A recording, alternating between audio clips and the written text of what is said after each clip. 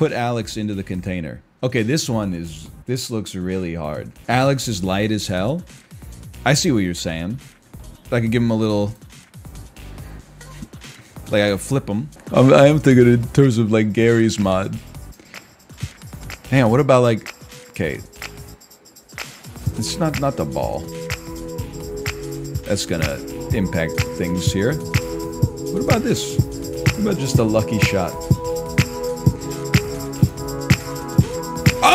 Wait, wait, wait, he's coming back, man!